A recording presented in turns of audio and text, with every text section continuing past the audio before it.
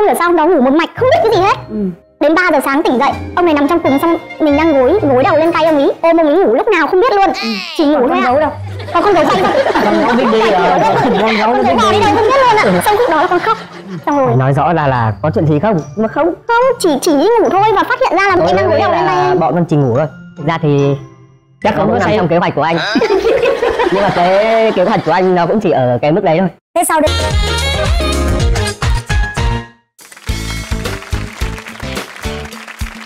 Hồng Vân Quách Ngọc Tuyền xin chào mừng quý vị đã đến với chương trình Vợ chồng son.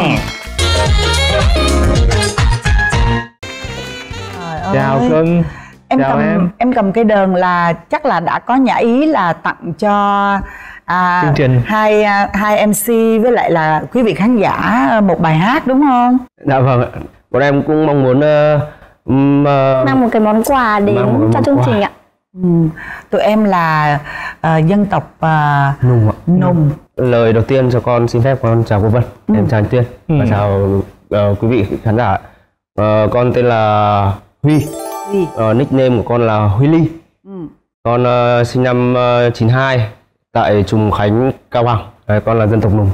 Con hiện tại là con đang là một YouTuber, một TikToker và công việc chính của con là producer. Ngoài ra thì con còn làm chồng với cả làm bố. Rồi còn con con giới thiệu đi. Dạ. Thì lời đầu tiên thì cho phép con xin chào cô Hồng Vân và chú Tiên. Con sinh năm uh, 98, năm nay 24 tuổi. à, Và con đến từ Phúc Yên, Vĩnh Phúc. Hiện tại công việc của con thì ờ, kinh doanh online, thẩm mỹ và có một ờ, khu ờ, du lịch nho nhỏ, một khu homestay. Ồ, giỏi nhỉ Dạ, Homestay ở đâu? Nằm ở đâu cưng? dạ nằm ở Vĩnh Phúc ạ. Ở quê luôn Dạ vâng ạ. Hiện tại cái công việc của bọn con cũng ở trên mạng cũng là chồng đàn vợ hát thế nên là hôm nay đến với chương trình thì cũng muốn mang một món quà nhỏ nhỏ đó một bài hát gửi tới cho mọi người Ừ, rồi trời ơi. Ok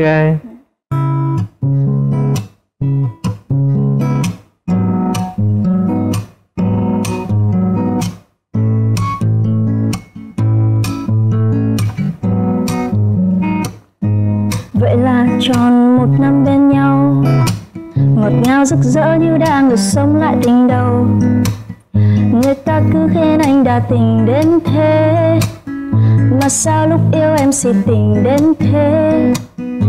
Một người phải vờ như ngây thơ, một người nói dối quá tội. Tình yêu với em như ngồi đền thiêng liêng, giờ em chẳng muốn cầu hai ta sớm có kết cục buồn. Nỗi đau này em đưa cho cơn gió cuốn. Điều gì xảy ra với anh? Ôi, điều gì xảy ra với em? Thôi ta chia tay đi, nhưng xin em sẽ không phải tiếc.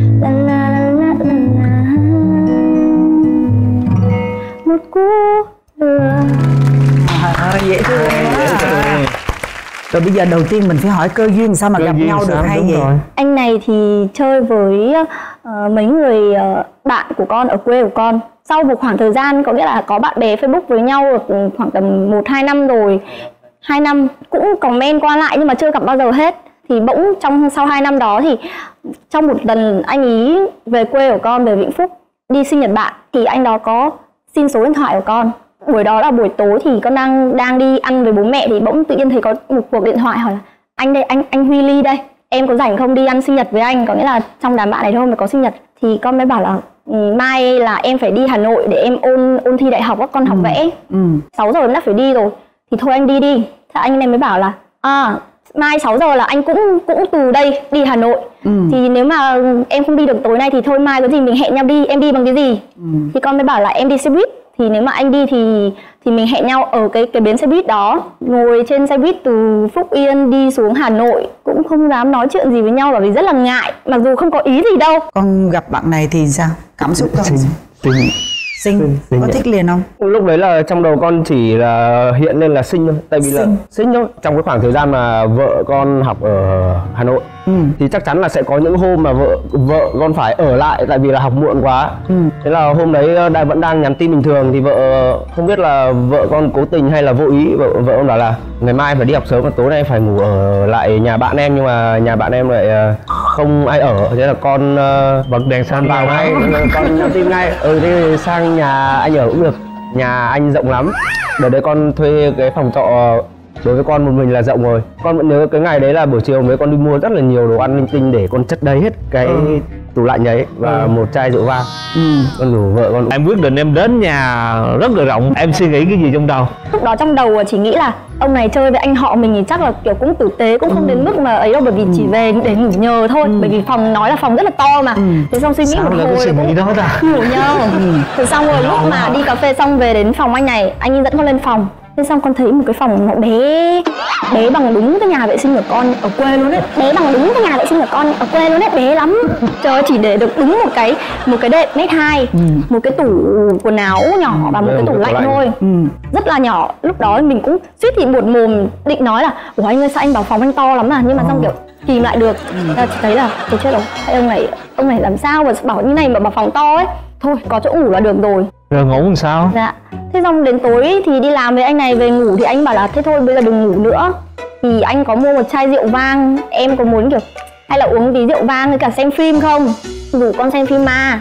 Xong rồi rót hai cái cốc rượu vang này uống uống được tầm hai ngụm thôi. Là thấy buồn ngủ buồn ngủ lắm rồi ấy. Bảo anh ơi, em không thể nào mà em em xem được phim nữa rồi thôi em đi ngủ rồi em mai muốn đi học sớm. Anh bảo ừ thế thôi thế đi ngủ. Cái phòng của anh ấy là một cái đệm mét hai thôi ạ. Thôi bây giờ em tính như này em nằm trong sát trong tường ấy. Anh đem cái con gấu về đây. Cái con gấu nó to như người ông này luôn. Em chèn ở giữa. Rồi anh nằm ở ngoài.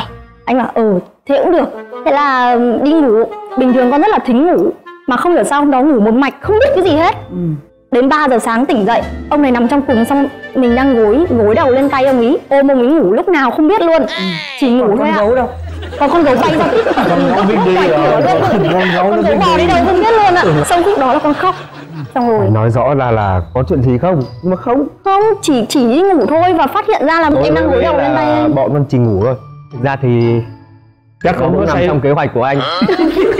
Nhưng mà cái kế hoạch của anh nó cũng chỉ ở cái mức đấy thôi. Thế sau đêm đó thì sao?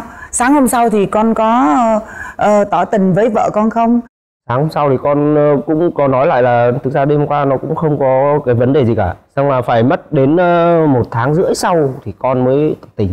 Thấy ông này cũng tại sao lại ngủ với mình rồi? Mà tại sao lại không có nói một lời nào hết chỉ là xin lỗi hôm đấy xong là xong. Ừ. cũng rất là buồn bực nhưng mà cũng rất là mong ông này nói một cái lời nào đó như là em làm người yêu anh ấy hay như nào?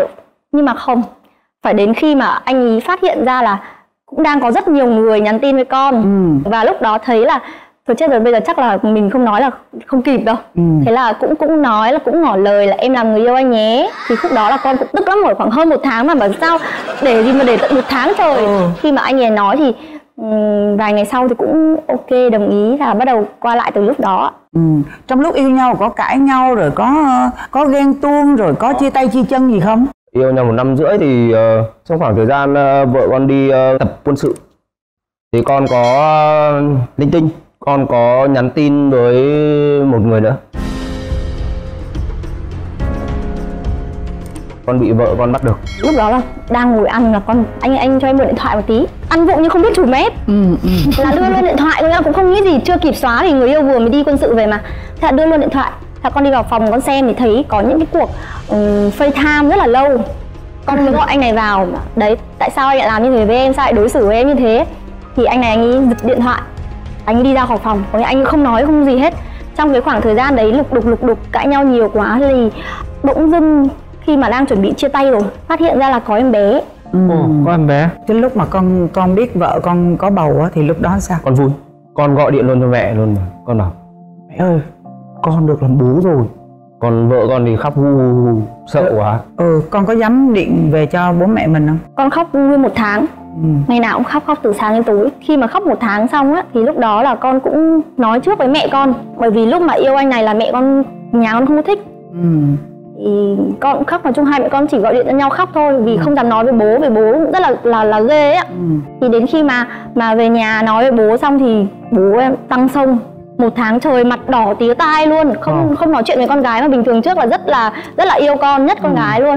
Thì anh này cũng con bảo bố mẹ về xuống. nhà thu xếp là là cho có mẹ con xuống có mẹ có gì có bác xuống cũng hỏi. hỏi cưới. Xuống hỏi cưới. Vâng. khi mà đám cưới xong thì bây giờ nhất con rể? Lúc đó là hai đứa con làm đám cưới xong rồi á, có ở riêng ra không? Hay là ừ, lúc đó là phải ở chung với à, bố mẹ rồi Có. cái điều kiện kinh tế như thế nào? Bố mẹ cũng biết là anh này anh ấy nghệ công việc cũng khó khăn ở dưới đó thì bảo là thế thôi hay là hai vợ chồng cùng về về Vĩnh Phúc. Dạ vâng. Em đã bỏ công việc mà em yêu thích nhất để em ờ, về nhà vợ. về nhà vợ cùng làm xi măng sắt thép. Là con cũng góp vốn và con cũng mở một cái kho. Nhưng mà lúc đó là hai vợ chồng có cãi nhau nhiều không? Chính vì anh này anh ấy bỏ cái nghệ thuật để anh ấy về anh làm một cái công việc kinh doanh mà từ trước giờ anh chưa bao giờ làm ấy ạ. Nên là tính cũng thay đổi và xong thời gian đó thì con cũng sinh em bé cũng nói chung là cũng gần như là Thay trầm, đổi, trầm cảm ừ. vâng. Rất là trầm cảm Đấy. hai vợ chồng khúc mắc từ cái khoảng đó và ừm, Bọn con ly thân- con ở được năm năm để Ồ, để em bé được. 5 tháng thì ly thân bởi vì không thể chịu được nhau nữa. Ly thân là ờ, con ở đâu rồi vợ ở đâu? Con vẫn ở nhà bố con mẹ? lại xuống Hà Nội con ờ, làm lại từ đầu với cái ngành âm nhạc này của con. Ờ. còn vợ con thì lại ở cùng bố mẹ vợ. Bố mẹ để bố mẹ chăm cháu đúng không? Vâng. À. Thế nhưng mà rồi ờ, tụi con ly thân bao lâu? 6 tháng rồi lý do nào sau đó lại quay trở lại với nhau? Thời gian đó thì anh này về Hà Nội làm. Ừ.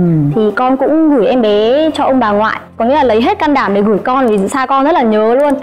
Thì lúc đó là con cũng quay về Hà Nội để làm. Nhưng mà là ở riêng nha anh này ở nhà anh ấy còn con thì đi thuê một cái phòng trọ nhỏ. Thì sau một khoảng thời gian thì ừ, qua lại thì bỗng sau khoảng 6 tháng ly thân ấy ạ. Khi mà anh này anh ấy trở lại anh làm nghệ thuật anh ấy làm youtube trong một lần anh ấy không không không có cái đề tài gì để anh ấy up lên kênh ấy ạ. Thì anh ấy mới cứ gọi con sang là em hay là em sang em ờ, hát giúp anh một bài. Để anh quay anh up lên lên lên trên kênh. Thì con sang thì thấy anh này ở cái bàn ăn anh ấy lại bày một chai rượu vang. Thì sau khi mà ăn uống xong hát xong một bài thì anh này anh ấy cũng kéo mình vào phòng. Đó. Để hát hát luôn đó. Không đến rồi dạ đó. Sau hôm hôm đó thì bọn con vẫn ở riêng không không có qua lại gì hết. Nhưng mà khi mà up ừ, cái clip mà chồng đàn vợ hát lên trên kênh ấy là được mọi người hưởng ứng rất là nhiều được mọi người ủng hộ nhiều thì là bọn con bắt đầu quay lại ở khoảng thời gian đấy. Là có cái để mà ừ, nói chuyện lại được với nhau. Nói chung là cả ờ, cô cả anh ờ, tuyên và tất cả mọi người đều mong muốn cái điều đó bởi vì tụi con nhìn rất là đáng yêu luôn. Trải qua nhiều biến cố quá rồi đúng dạ không? vâng đúng rồi Ừ, đấy ạ. rất là đáng yêu đầy luôn. đủ. Ừ. thế là lúc mà về ở với nhau á, thì là cái tật xấu nào của anh này mà con cảm thấy là con khó chịu nhất. Tật xấu nhiều lắm. Nhiều Rồi, ví dụ ví cái, dụ. cái, cái mắt con nháy luôn này nhảy luôn. Tật xấu nhất là Ừ. vô tâm cãi nhau nhưng mà anh ấy không giải quyết không giải quyết vấn đề. Khi mà cãi nhau thì con muốn là phải ngồi lại Ừ. nói ra là tại sao lại cãi nhau để giải quyết cho xong cái chuyện này đi nhưng mà anh này anh ấy sẽ không. Anh ấy không nói đâu anh ấy cứ đóng cửa trong phòng xong anh bơ đi xong rồi để đến hôm sau kiểu cho quên đi là quên là là xong luôn anh không giải quyết. Ừ. mà như thế là mình bị ôm cái cục tức ở trong người mình rất là tức mình không thể ngủ được. Xong rồi kiểu mấy hôm mình cứ bị kìm ở trong lòng. Rất là nhiều lần như thế rồi mà bảo anh này sửa anh không sửa. Con con không thích nói chuyện trong những cái lúc đấy. Nó khó căng thẳng đúng không em đúng rồi. Rồi còn cái điều gì mà con muốn chồng con thay đổi để mà cho cái ờ, cuộc sống hôn nhân này sẽ ờ, trọn vẹn và thăng hoa hơn? Tâm sự với vợ nhiều hơn À, nói chuyện muốn- với vợ nhiều hơn. Ừ. vì thực ra con rất là thích nói chuyện con thích được kiểu ừm, có vấn đề gì đấy thì mình phải nói để hai vợ chồng có thể hiểu nhau ấy nhưng mà anh này anh không nói. Mặc dù là làm nghệ thuật nhưng không lãng mạn nữa. Ồ. Không lãng mạn một tí nào hết. Ví dụ như kiểu những cái ngày mà quan trọng ấy có thể là đến tối rồi anh mới nhắn tin. Mà trong khi ví dụ sáng mà mình rất là muốn anh một câu chúc gì đấy nhưng mà không. đến tối hoặc là quà ví dụ quà chẳng hạn mình chỉ cần một cái món quà rất là nhỏ thôi. Nhưng mà anh này phải đến tận hôm sau hôm sau nữa thì anh ấy kiểu sực nhớ ra thì anh ấy mới tặng Ờ. anh rất là vô tâm. Ờ thay đổi rất nhiều luôn đó. Phải lãng mạn nè bớt vô tâm lại nè chịu khó sẽ chia tâm sự với em. Dạ. Rồi vợ con nói sao? chung vợ cũng đã hy sinh cho em nhiều lắm rồi đó. Dạ. Vâng. Bây giờ tới con đó. Vợ bây con giờ có sao? tật xấu gì nè? Ừ. em không biết em dùng từ nói nhiều hay là từ càm ràm nó hợp lý nhiều lúc là em đã ừ rồi nhưng mà vẫn cứ nói. Thành ra là em lại bị cáu ngược luôn. Cái mà em không thích đấy là lúc mà em đang làm việc em đang sáng tác. Nhiều, nhiều lúc em nói vợ là đây nha bây giờ anh đang làm nhá anh đang cần tập trung nhá. Đừng đừng đừng sai khiến anh cái gì cả. Đừng đừng đừng bảo anh làm gì đừng nhắn tin gì hết. Là bắt đầu uh, anh ơi xuống lấy hàng cho em. Trong một buổi chiều ba lần như thế thì con hỏi cô là một người đang đang trong một cái mút sáng tác đang một cái dòng chảy Gãy không? phát ba lần là con rất là bực mình là cả ngày hôm đấy con bực mình luôn. Thành ra là bây giờ con đã tìm cách là bằng cách là con làm việc ban đêm. Ban ngày thích sai thì sai nhưng mà con cứ làm những việc ờ, linh tinh. Khi mà con con chia sẻ hay là con nói một cái vấn đề gì đấy thì ờ, việc đầu tiên là không chịu nghe con. Với cả ví dụ như con đang giải thích cái vấn đề gì hoặc là con đang xin lỗi vấn đề gì lên lại lại không tin. Nên thành- thành ra là những lúc như thế là con lại càng không muốn nói nữa. Đấy. Rồi bây giờ cái điều con mong muốn thay đổi nhất là điều gì ở vợ con? Duy nhất thôi. Là nếu mà sau này anh có buồn nha anh ví dụ anh đang buồn, em phải, kiểu, nhìn mặt anh một tí, là biết là anh đang buồn. Anh muốn em thay đổi cái cách mà em đặt câu hỏi và đặt đặt vấn đề với anh. Cũng là một câu hỏi đấy thôi, nhưng mà em chỉ cần thêm một từ anh em hoặc là thêm một cái câu gì đấy, anh hôm nay cảm thấy thế nào? hay là sao đấy? Anh sao đấy? Cái câu anh sao đấy làm anh rất là bực mình. Anh bực rồi, anh càng bực hơn nhạy cảm nhạy cảm vậy vẫn là một cái cách nói chuyện đó cái cách truyền chuyện tải đó cái đó cần thiết lắm Dạ. đó con cũng là một nội Cái đó dung đó trọng. nhưng mà cái cách truyền tải của mình á thì sẽ làm cho đối phương nghe hoặc không nghe đấy đó Hoặc là... là- con dao hai lưỡi đó thì thực sự là anh cần ở em á điều đầu tiên là phải có trách nhiệm với bản thân em vâng và anh trách nhiệm với là con và vợ mình và thực Vâng. sự là anh anh tại vì anh với em cũng na ná giống giống nhau có Cùng cái hoàn làm cảnh. nghệ thuật đó. đúng rồi cùng Vâng. thứ nhất cùng làm nghệ thuật thứ hai cùng là có vợ trẻ Ừ. bé hơn nhà anh sinh năm năm 2000 nhỏ hơn bé nhà nữa. Vâng. Và thực sự là vợ của mình á là hy sinh cho mình tất cả rồi anh nói thiệt. Là coi như là nguyên tuổi thanh xuân là dành cho bản thân mình rồi. Vâng. Anh nghĩ là phải có trách nhiệm với yêu thương vợ con nhiều hơn nữa. Vâng, vâng. em phải quan tâm à, bà xã nhiều hơn. Vâng. Và cái quan trọng là cái tâm lý rất là quan trọng. Em phải hiểu được à tâm lý lúc đó vợ cần gì và muốn gì. Thương thương thương. Lúc đấy anh cũng không cố tình nói thế đâu hứa cái gì nè? Hai đứa đứng Anh, lên cho đẹp ờ, xem nào tôi nhìn cái bộ sắc phục này tôi thấy đẹp quá anh cơ. mời hai đứa đứng lên và có một cái lời hứa gì đó với là vợ. Anh sẽ quan tâm em nhiều hơn hơn những gì mà em tưởng tượng. Chắc chắn. Anh sẽ cố gắng anh chu toàn hơn. Anh cũng không phải là mong mọi thứ nó hoàn hảo nhưng mà anh sẽ làm nó tốt nhất trong khả năng của anh. Anh cũng không cần em phải hài lòng anh chỉ cần em công nhận những gì mà anh đã anh anh sẽ và đang và sắp cố gắng thôi đấy và anh hứa là anh sẽ bù đắp hết. Cảm ơn hai đứa rất nhiều Dạ, vâng nha. rồi. Và ngay sau đây xin mời quý vị hãy cùng gặp gỡ với cặp vợ chồng đầu tiên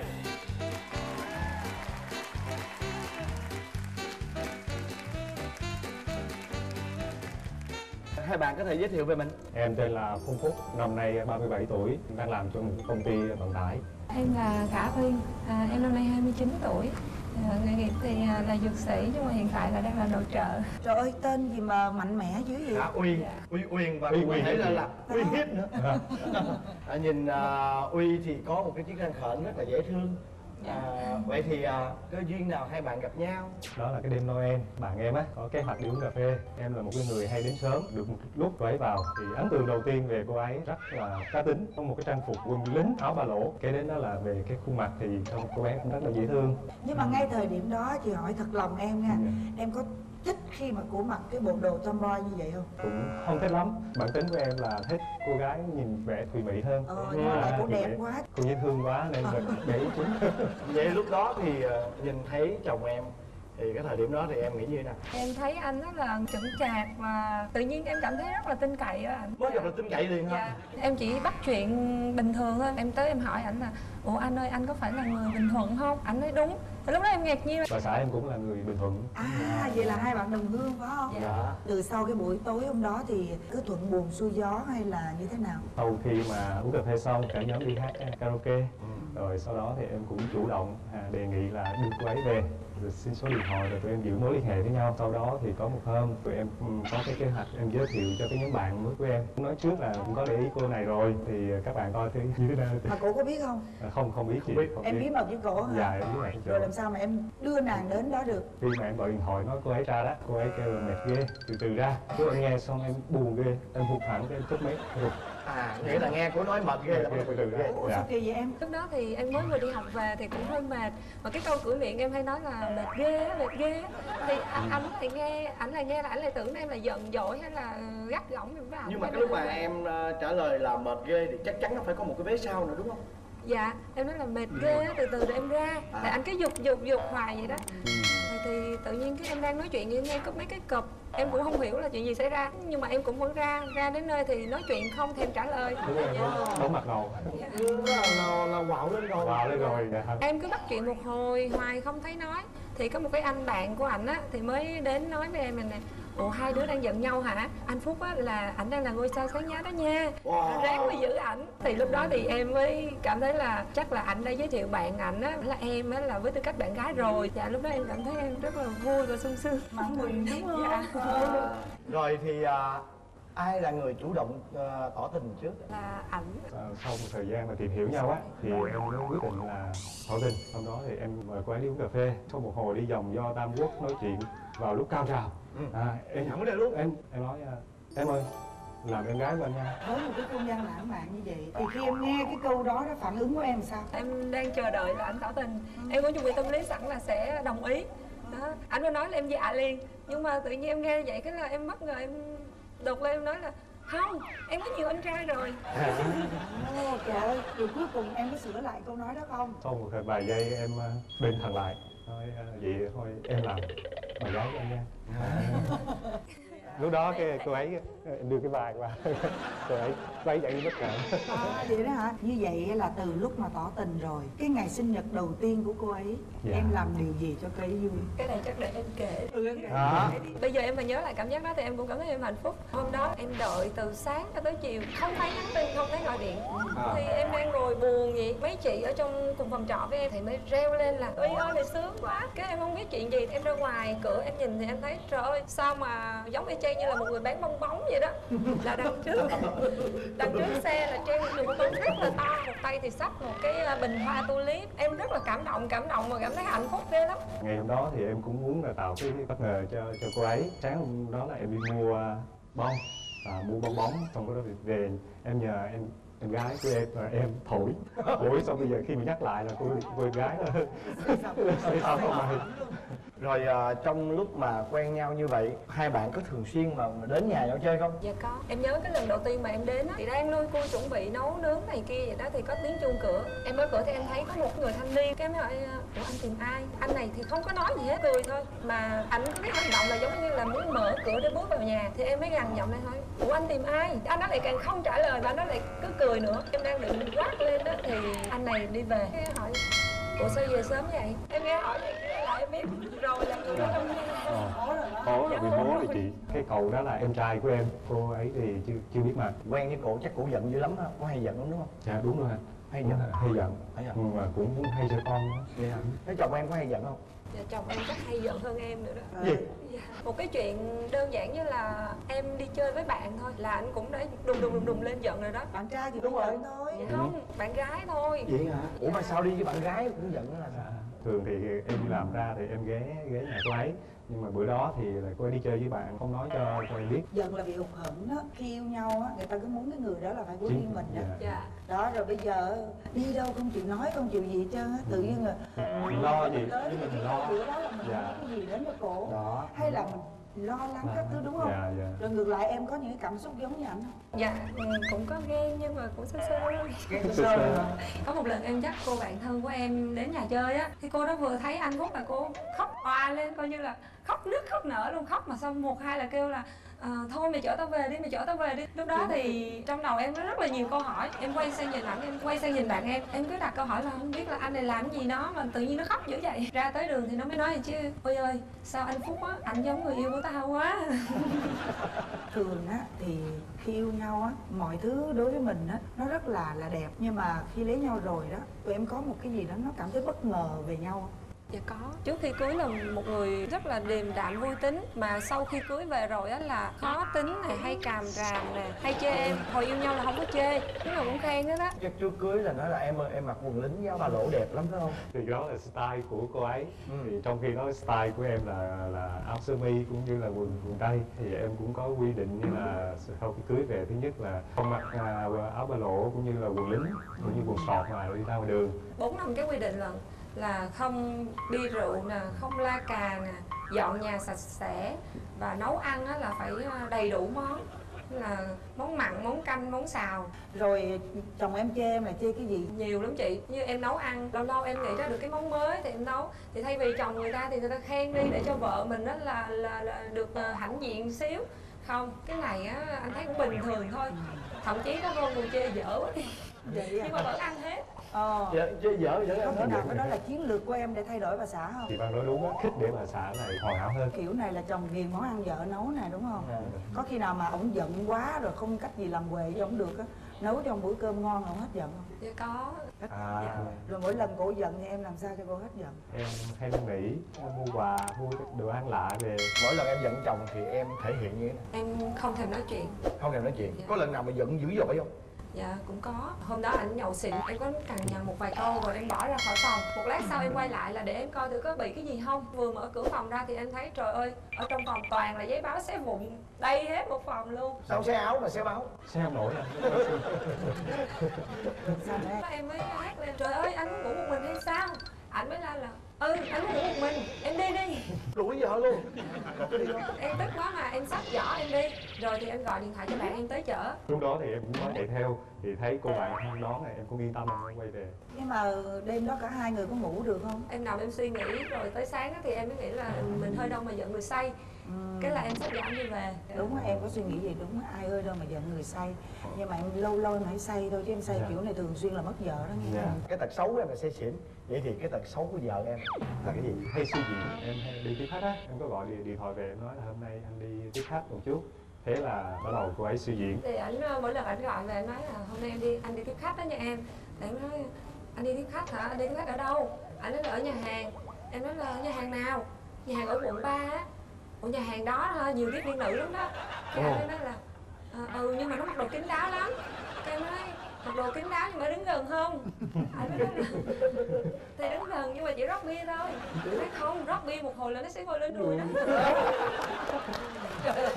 Suy diễn có gọi là có bài bản dạ. với suy diễn giống như là cô ấy đang ở hiện trường vậy đó. Khi mà vợ của em ở nhà để làm nội trợ và chăm con không á thì cái chiều hướng của cái suy diễn nó khó mà bỏ lắm. Dạ đó là kinh nghiệm chung. Bởi vì tự nhiên mình ở nhà mình thấy cái cuộc sống mình nó bị hẹp lại đó. Rồi là công việc của mình á, thì nó lại đơn điệu từ sáng nó chỉ có như vậy thôi. Thì bây giờ tạm thời có điều kiện mà chồng lo được cho mình thì mình ở nhà mình chăm con cho nó cứng cáp.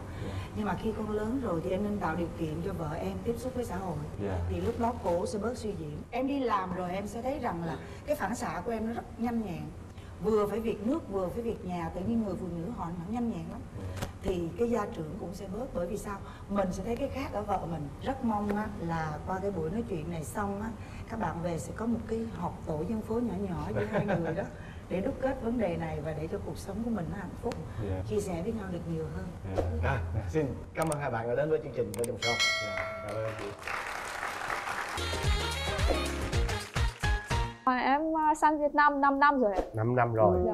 À Rồi thôi bây giờ giới thiệu về mình đi Em vợ giới thiệu trước hay chồng Đây em giới thiệu trước. Rồi mời em Em tên là Sofia Phan, em đến từ Ukraine.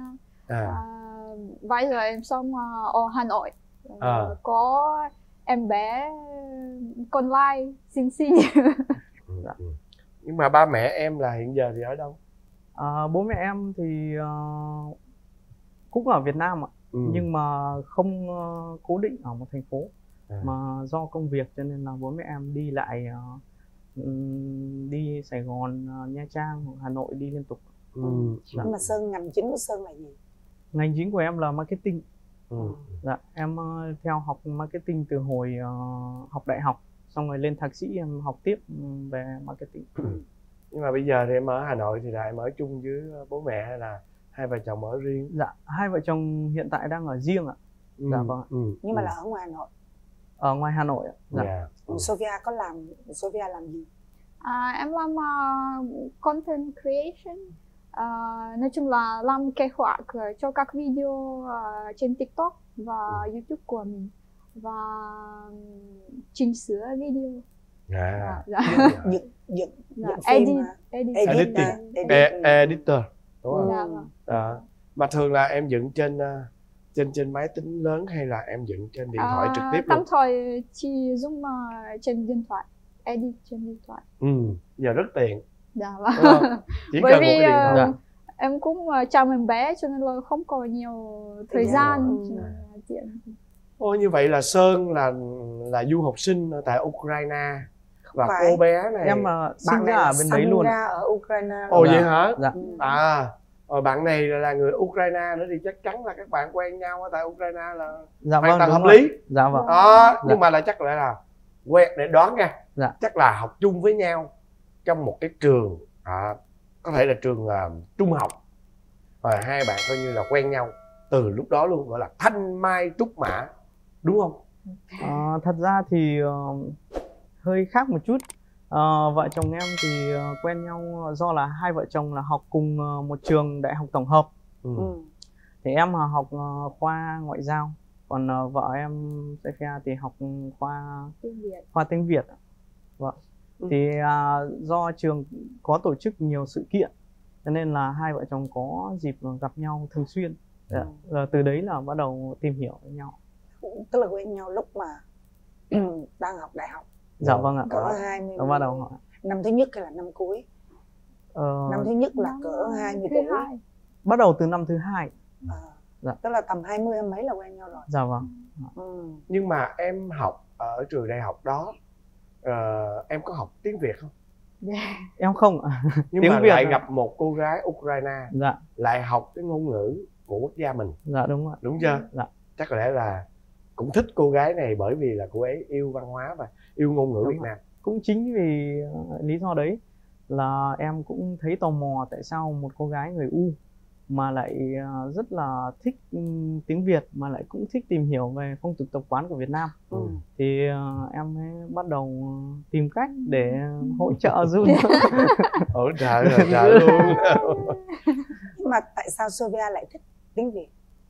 Dạ ờ, lúc mình ờ, vào trường thì mình đã muốn chọn một ờ, ngôn ngữ châu Âu Ừ. bởi vì ừm, hồi xưa mình học nhiều tiếng châu Âu Ờ, sau đó mình quyết định học một ngôn ngữ khác ừ. ờ, ngôn ngữ mới.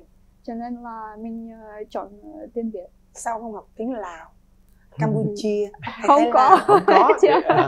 anh hỏi Sophia nè. Vậy thì Sophia biết được bao nhiêu thứ tiếng À, dạ em ờ, biết ờ, tiếng Ukraine, tiếng Nga, tiếng Anh, ờ, tiếng Việt và một chút tiếng Đức. sơ sơ là 5 tiếng rồi đó Dạ vâng. à, đó.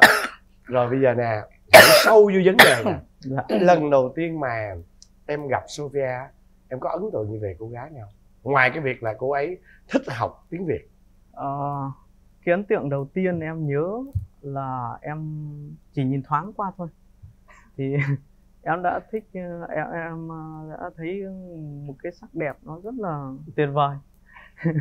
Thì em đã bị quyến rũ bởi cái sắc đẹp đấy.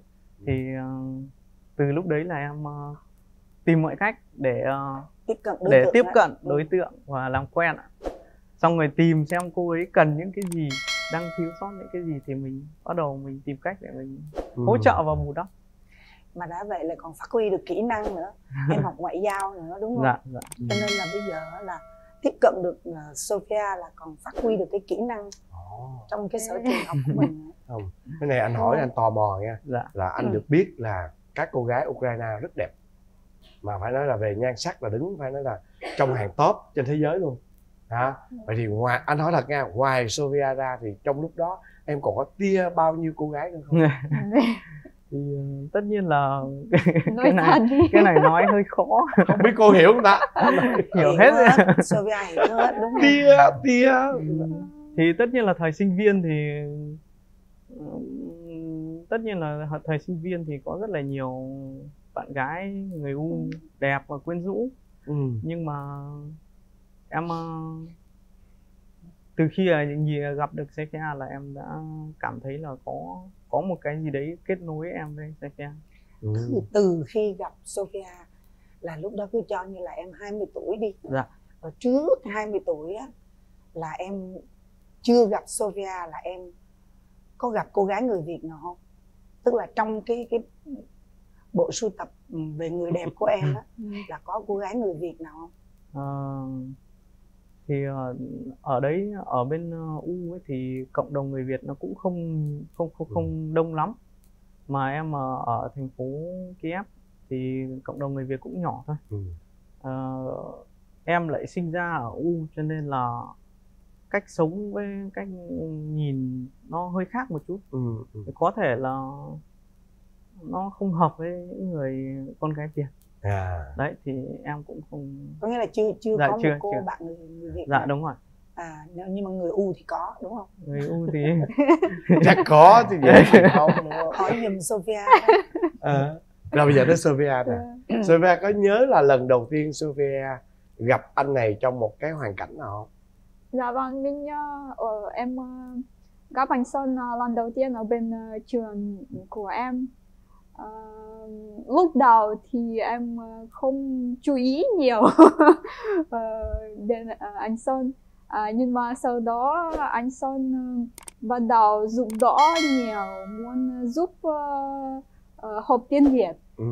Thì mình thấy ờ, ờ, anh ấy rất là nhiệt tình rất là người kiểu giúp đỡ muốn giúp đỡ nhưng mà em có thấy Sơn đẹp trai không dạ có mà Sơn là người bạn trai Việt Nam duy nhất hay là trước đó em có quen với con trai Việt Nam chưa? À, à, trước đây um, à, em đã sang Việt Nam để thực tập tiếng Việt ở Ừ. bên à, trường xã hội và nhân văn Nhân ở. Hà Nội. À, thì cũng à, ở đó có nhiều à, bạn trai người Việt mà à, khen em. Thích em. Dạ thích em nhưng mà chưa có quan hệ. Em em chưa thích ai hết. Đúng Dạ, đúng không nhiều bạn nhưng mà em chưa yêu ai bởi hết. vì em ờ, cũng thấy ờ, nếu ừm, có quan hệ với người Việt Nam nội địa thì nó cũng khó một chút. Ừ. bởi vì Ừ. ờ, mình thấy anh Son là Việt kiều từ Ukraine cho nên là rất là dễ giao tiếp. Ừ. Ừ.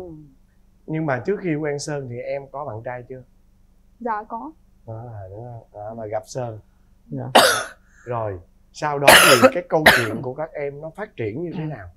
Và Sơn chủ động tấn công cô gái này ra sao? Trong bao lâu thì coi như là chiếm được ờ, cái tình cảm của cô?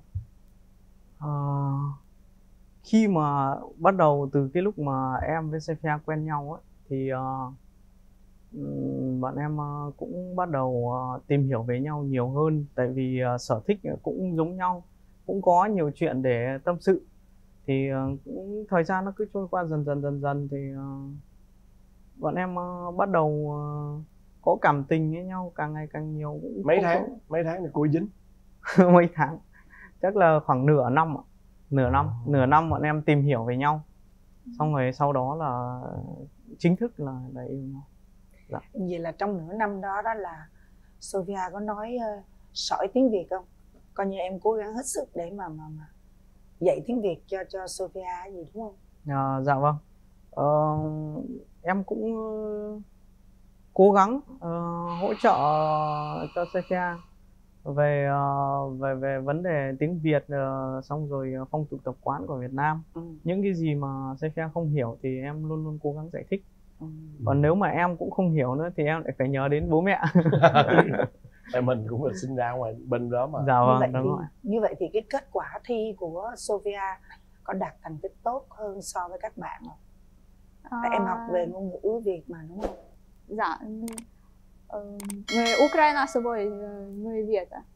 Lúc mà em thi á, tại vì em học ừ, bên ờ, ngôn ngữ Việt. ngôn ngữ Việt đúng không? dạ vâng. Vậy lúc em thi á, thi tốt nghiệp á, à, dạ. cái thành tích của em có cao không? dạ cũng có là chị chín mươi chín mươi từ một trăm Ừ. dạ. Là có có có có cái có cái sự giúp đỡ của sơn nhiều không có chứ không có này anh hỏi sơn nè thật ra là trong cái tiếng việt nam mình á là rất khó nha dạ. nhất là trong cách phát âm dạ đúng Dạ. rồi vậy thì em có nhớ cái câu chuyện nào mà nó liên quan đến cái việc nó nó đến nó liên quan đến cái việc gọi là em dạy cô ấy phát âm không? Ờ, có câu chuyện vui nữa không? Về Phát âm sai á. ờ, phát âm sai phát âm sai thì ờ, trong lời thường do tiếng do tiếng ờ, u nó cũng là không không có dấu. Nó cũng giống Ừ, như đúng các tiếng đó. Châu cho nên là khi mà sẽ pha phát âm nhiều lúc là sẽ pha có thể là nói nó sai từ ấy. em có nhớ cái từ nào mà sai không? Mà nó vui vui á. Từ nào nhà vợ có nhớ em nói sai nhiều quá Nói sai nhiều. tại vì thật ra tiếng việt nam mình rất khó nha dạ đó vâng rất khó cho nên là thật ra để mà nói ờ, ví dụ cụ thể thì cũng khó tại vì Ừ, ờ, trong đời sống bình thường vâng Ừ. Ờ, cứ sai ấy, thì em sẽ cố gắng sửa cho xe Ừ. dạ. ừ, ừ. Rồi rồi như à, vậy là yêu sau 6 tháng là bắt đầu chính thức yêu nhau. Dạ. Lúc đó là có đưa về gặp bố mẹ chưa?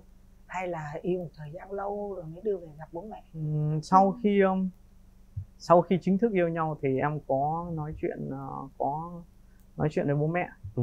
và Bố cũng, mẹ em á? dạ vâng của bố mẹ em Ừ. Ờ, cũng ờ, kể qua thôi chưa chưa đến một lúc sau nữa thì em mới quyết định là cho Sekia về để giới thiệu với bố mẹ với gia đình Mà Là- tại bên U luôn. Ờ, ở bên U ạ dạ Ừ. vâng là em à, đưa Sophia về với bố mẹ em trước rồi em mới qua gặp bố mẹ của Sophia đúng rồi xong À. rồi em ờ, nhớ là lần đầu tiên ờ, em tới nhà Sekia là sau khi em đi du học ở Anh về à. em du học ở Anh về là em qua luôn từ sân bay em chạy qua về thẳng nhà um, Sephia để để làm quen với bố mẹ Sephia Ừ.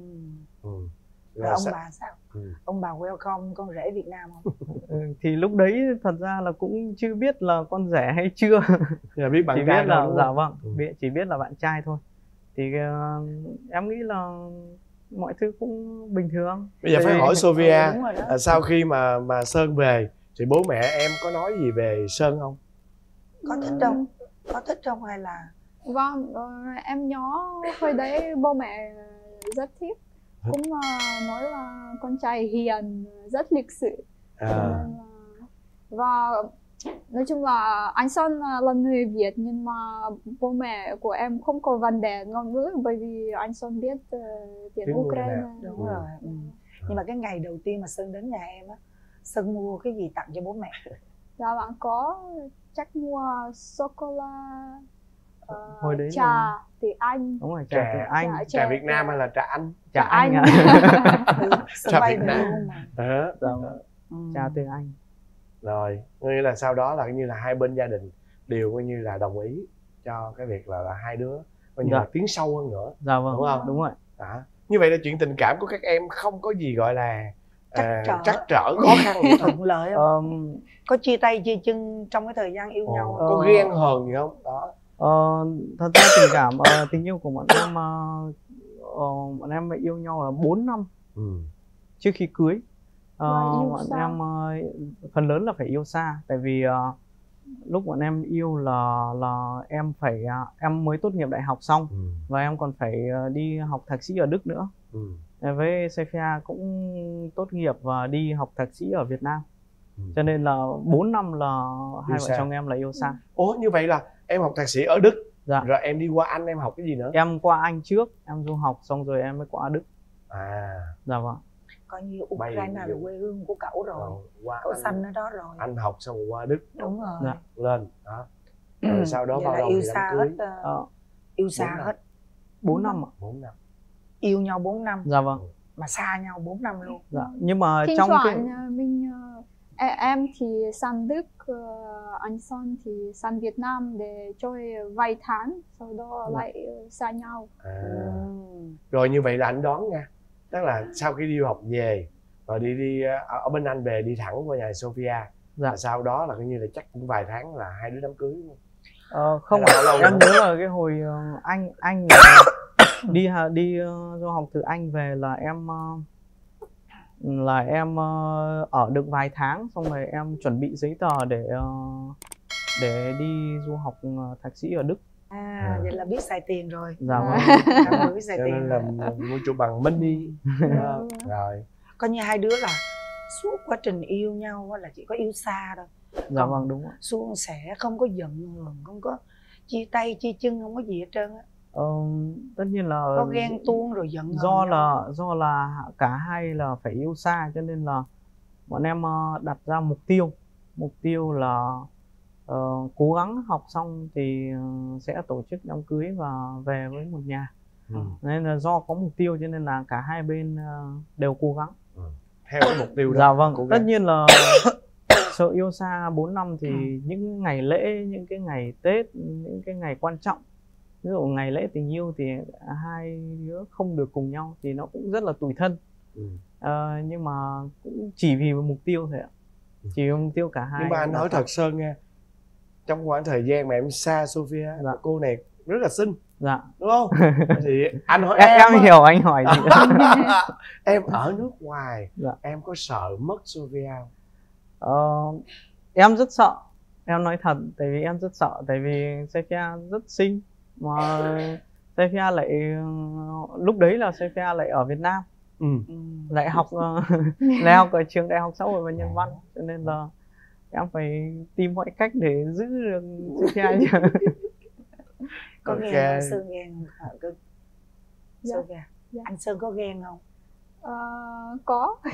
Đang hỏi giai đoạn Cho yêu nha. giai đoạn yêu á. Trước, ờ, trước khi em sang Việt Nam anh Sơn phải làm cầu hôn. Cầu hôn. Em phải xin bố hôn. mẹ của em có được không? Coi như bố là mẹ. xác nhận chính chủ. Dạ vâng tôi đây rồi. đúng không? đúng rồi Đó. xác nhận chủ quyền á. Dạ. Ừ. à, bây giờ là lấy nhau được ừ, mấy năm rồi? Ờ, 4 năm rồi ạ. 4 năm. Từ Bốn năm năm. 2018 18 tháng. Vậy là tụi em cũng trường kỳ rồi ha. Dạ. 4 năm yêu nhau 4 năm lấy nhau Dạ. 8 năm rồi. Gần một thập kỷ bên nhau rồi đúng. Không? Dạ đúng rồi. Trời ơi. Rồi vậy giờ anh Sơn anh có cái tật xấu gì không? Thật xấu thì nhiều. Sophia chắc biết cái, cái phần này tất không? nhiên ai cũng có. Đâu Sophia kể đi cái tật nào mà Sophia muốn anh thay đổi nhiều nhất. Thay đổi. Thực ra hồi xưa em thấy anh Son ờ, thiếu các uh, lan mạn thiếu lãng mạn. À, thiếu ơi, mạn có vợ đẹp vậy mà Wow. cho nên mà em nói cho anh ấy là phải thay đổi phải kiểu mở cửa xe ô tô khi em Ồ, vào các thứ. Ờ, kiểu ở châu Âu nó đàn ông nó phải như thế. Kiểu gentleman. Ừ.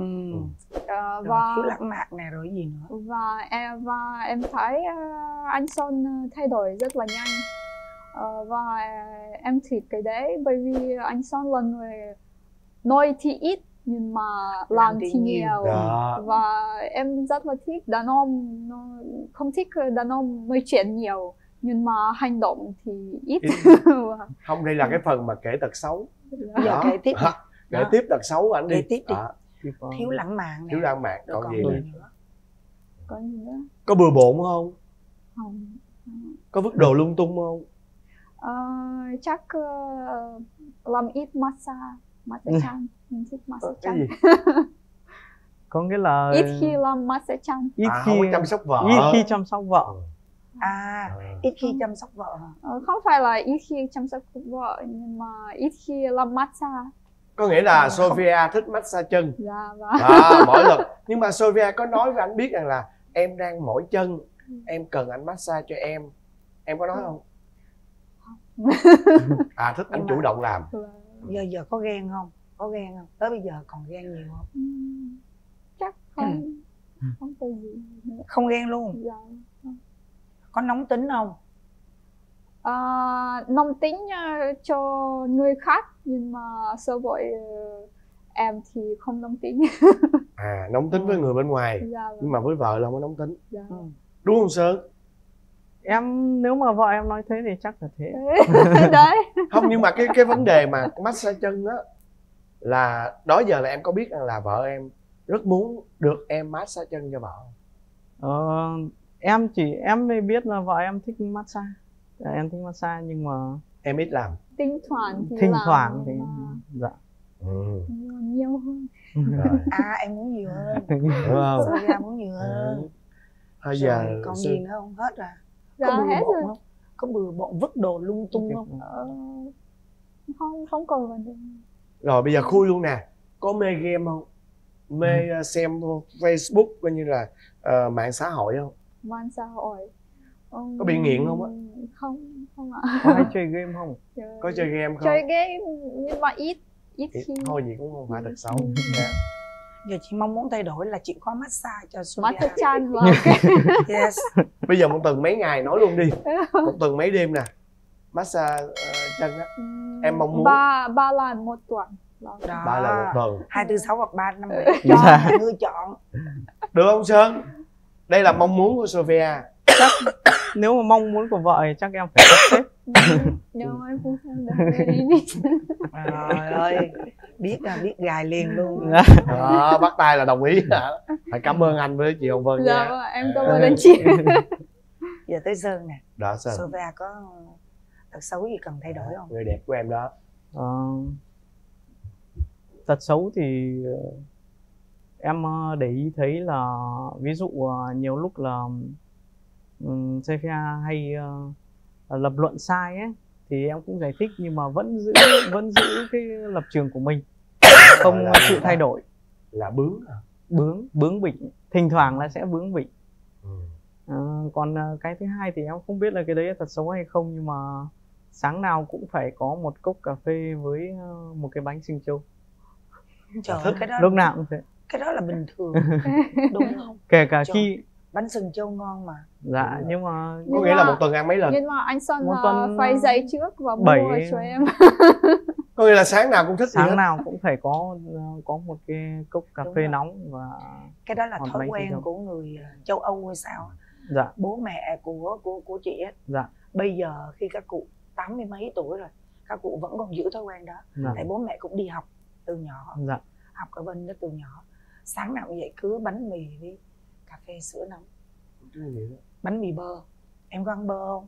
Dạ có. Đó cứ bánh mì bơ với một chút ờ, salad hoặc là gì? Sesame không phải cái gì gọi là? Salami. salami. Salami, Salami. Dạ, đúng ạ.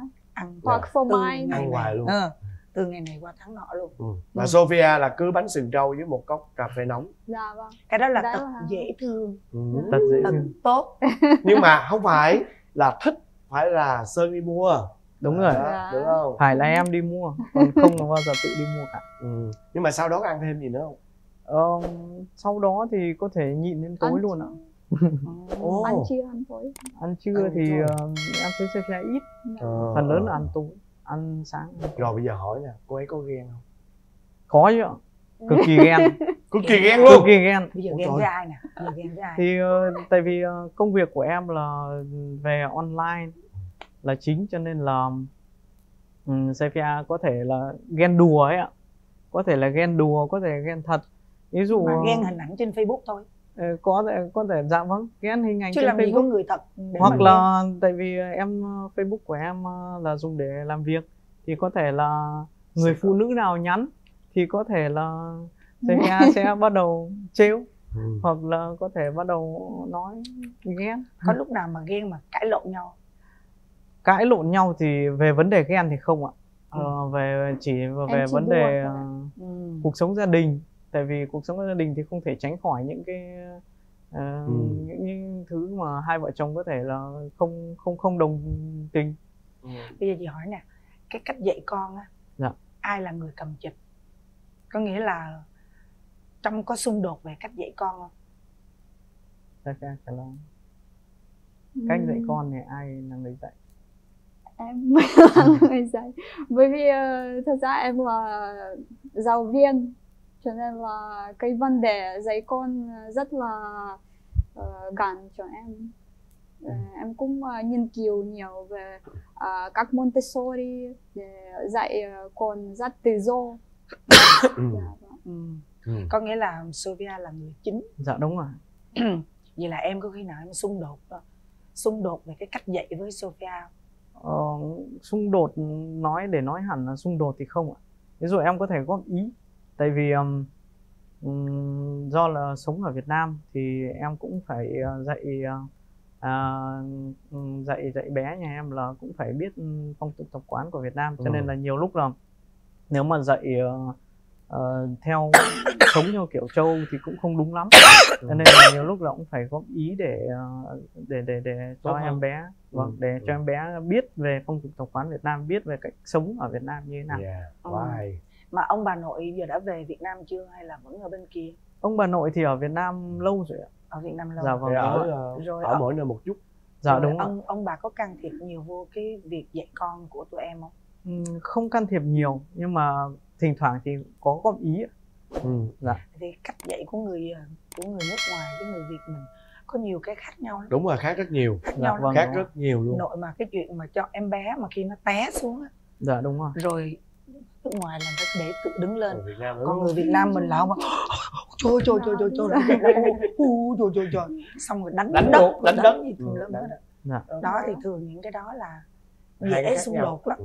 đúng không dạ Đúng vâng ạ. đúng Ừ. rồi nhưng mà bạn Sơn này cũng đã là sinh ra ở Ukraine cho nên là ít nhiều gì là cũng là cũng là người Ukraine rồi dạ vâng dạ. Và bố, mẹ của anh Son cũng sống ở bên Ukraine ừ. ừm, 20 năm hơn 20 năm Ừ. hơn Cho nên 20 là năm, cho nên là cũng bố mẹ em ờ, cũng hiểu ừm, cho nên là cũng chỉ có góp ý thôi ạ. rồi bây giờ Sơn mong muốn uh, Sophia thay đổi điều gì nếu như có Thật ra nếu mà đã yêu nhau rồi ờ, mà đã có mà đã về cùng một mái ấm và có cả con rồi thì ờ, em nghĩ là những cái thói hư tật xấu ấy cũng sẽ thành là những cái tính tốt. Tại vì mình ờ, mình yêu vợ mình cho nên là em thật ra em cũng không biết là có cái vấn đề gì để thay đổi. Thôi cứ để nguyên vậy luôn. Cứ để nguyên như vậy Yeah. và chồng con sẽ mãi mãi yêu yêu mà yêu Sophia Sophia. có lãng mạn không? Sophia rất là lãng mạn. Ạ. vậy thì em cũng nếu mà như vậy á thì hoặc là em phải ước em phải mong là ờ Sophia ơi em bớt lãng mạn lại. Hoặc là em phải nói là Sophia ơi anh hứa với em anh sẽ thật là lãng mạn để phù hợp với em. Đúng rồi. Đúng không? Dạ đúng rồi bắt buộc đúng không? Đúng không Sophia? Bây giờ cho Sophia đó đó là nghĩa là chị Vân đang gợi ý cho Sophia bây giờ cho cho em thêm một cái điều mong muốn nữa thì em nói đi em mong muốn điều gì Sơn ơi À. Nói bằng tiếng Mong- Ukraine cũng mong được. muốn ừ. à, anh Sơn à, sáng nào phải mua một cốc mì cà phê sữa nóng và một uh, bánh xin Ừ. chào ừ.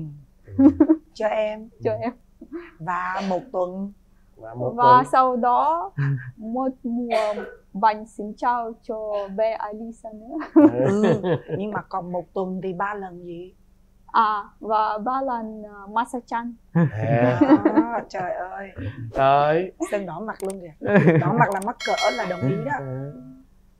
Ok hôm nay nhân uh, dịp đến với chương trình này. Dạ. thì uh, thật sự là trước khi chia tay các bạn thì phải nói là rất là chúc mừng uh, Sơn với Sophia các bạn đã có một cái mối tình rất đẹp và để có được ngày hôm nay rõ ràng là để có được hạnh phúc như hôm nay để có được nụ cười hạnh phúc thì rõ ràng là các bạn đã trải qua rất là nhiều câu chuyện yêu thương với nhau Dạ. và hạnh phúc là một lựa chọn các bạn đã lựa chọn đúng người đúng đúng đối tượng để mà chúng ta có thể là trao hết tất cả những tình yêu à, cho nhau Dạ chúc vâng. mừng các bạn Em cảm ơn anh chị ạ. chúc hai bạn hạnh phúc nha Em cảm ơn. Chúc cái kênh tiktok đó càng ngày càng Dạ. triệu view triệu view triệu view Em nha cảm ơn và chúc luôn hai đứa mau sớm có thêm một bạn. À, dạ. Dạ. Cảm ơn. có muốn không Có chứ ạ. rồi anh à, trước khi tạm biệt anh chúc cho sơn và sophia à không có đợi lâu nữa bé trai nha vài tháng nữa sẽ có tin vui và Dạ. qua năm sau sẽ có một em bé tuyệt vời à đến với gia đình của sơn và trai và đó là bé trai. Ok. Em cảm ơn ạ.